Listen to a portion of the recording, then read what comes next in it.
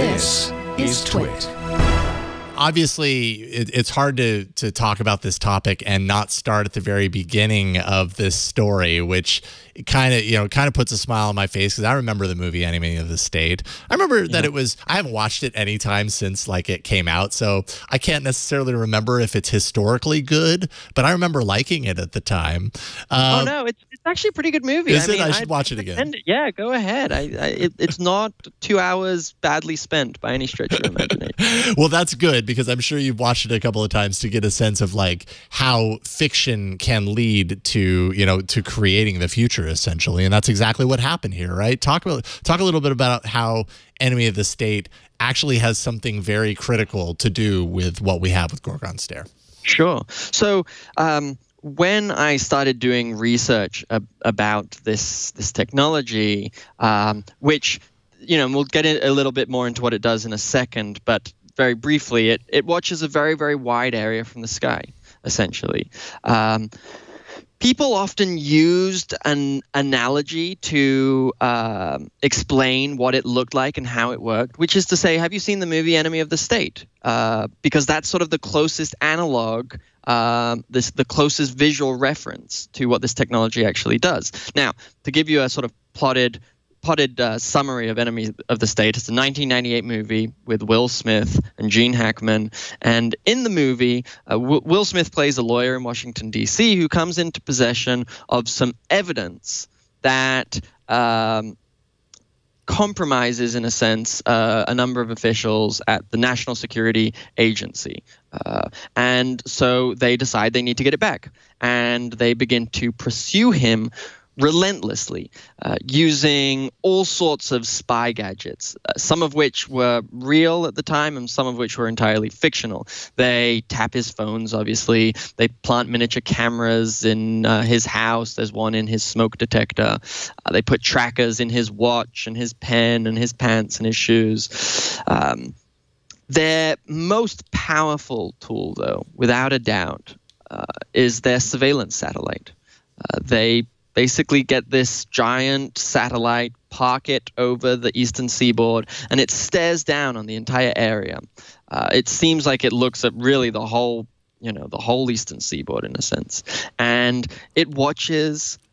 Dean, the lawyer played by Will Smith, as he scuttles around trying to get away. Um, now, for the average viewer, the uh, the intent with that that that device was to spark fear and anxiety. Uh, it was meant to demonstrate that, you know, while power is nothing new and the abuse of power is nothing new, these new technologies, these new surveillance technologies in particular, make power all the more vicious and even further rig the contest between the weak and the strong. And certainly watching the satellite tracking Will Smith around, really seeming like he has nowhere to go, is is pretty terrifying. Well, one night in 1998, shortly after the movie came out, uh, on a Friday evening um, in in Northern California, uh, a man uh, who works uh, for a, uh, a government lab called the Lawrence Livermore um, National Laboratory uh, was attending uh, a screening of this movie with his wife on a, on a date night. And whereas the other members of the audience were no doubt terrified by what they saw, he was thrilled. He saw this satellite and said, That's a good idea. "We've got to do this." Essentially, I mean, we uh, that would be amazing. And so he rushed home uh, and picked up the phone and left a message with his supervisor. And the message was very short. He just said, I have a great idea.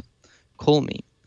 And as a result of that initial call, uh, this initially, this very small, um, kind of scrappy group um, within this very large organization started exploring this idea. You know, if we were to do something like that, how would we go about it? What technologies would we would we use?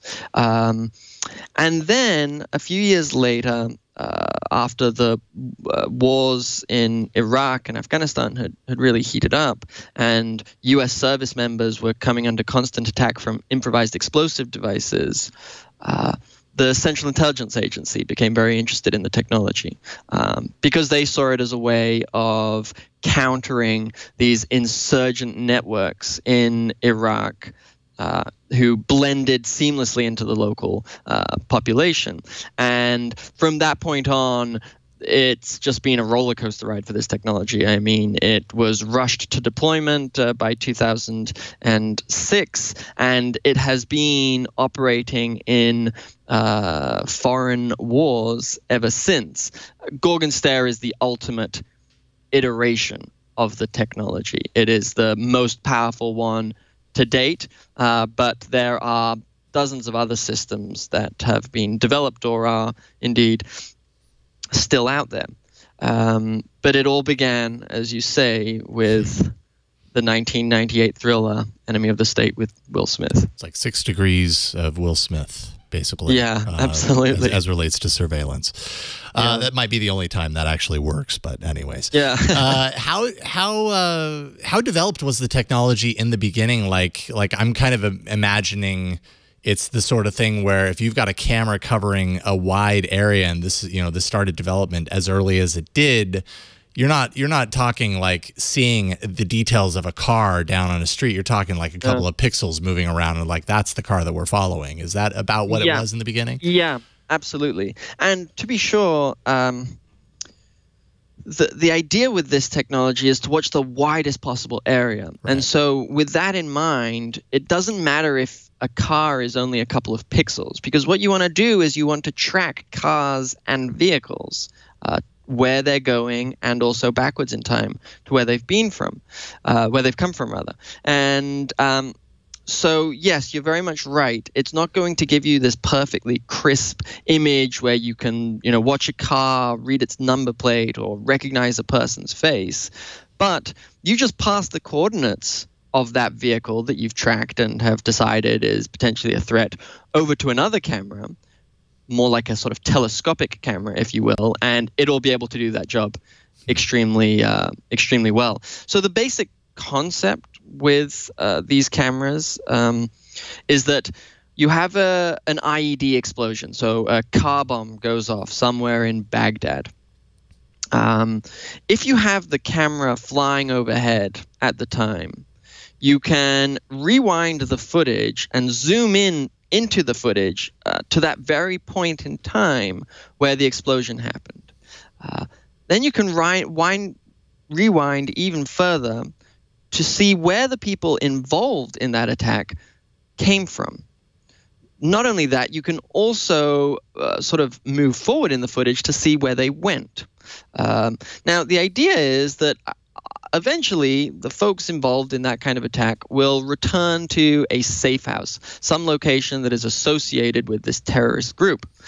Now that you know the location of this safe house, you can watch the other cars coming and going from that exact place. In theory, once you have connected enough locations by tracking the vehicles moving between them, you can figure out, uh, as as one uh, as one intelligence, uh, what former intelligence officer put it to me, you'll start to see that patterns emerge, and in theory, you'll be able to figure out what the hierarchy of the organization is, who plays which role, how they're all connected, and that's certainly catnip for someone like uh, you know an intelligence official at the Central Intelligence Agency agency. Yeah. They're not trying to, you know, put steel plating on the bottom of Humvees to expl- to, to to prevent deaths from explosions as they happen in the moment. They want to stop the next attack. They want to find the people responsible. Maybe find the people responsible and extract further information uh, from them. And that was the precisely the idea with this. And it was so revolutionary because previously aerial surveillance cameras operated more like telescopes. You could see your target on the ground in very high fidelity, but you could only watch a very narrow area. And so, if something happened outside of your frame of view, you had no way of capturing it. You had to sort of, you know, rely on on on dumb luck. Uh, one anecdote that uh, was given to me was that uh, a predator with one of these telescopic cameras was being used to follow a convoy of vehicles. And there was intelligence to say that there was a senior terrorist leader inside one of these vehicles, but they didn't know exactly which one. At one point, these vehicles reached an intersection and split up. And now, those watching had to make a pretty sort of stomach churning decision. Do we go left or do we go right? Ultimately, it was basically a, a sort of flip of the coin, and they got it wrong. Now, if you were using one of these wide area cameras, you'd be watching the whole city. So it didn't matter if you go right or left. The camera records, as one uh, engineer put it to me, the whole thing all the time. Um, you can see everything, and so that problem of the telescopic camera no longer exists.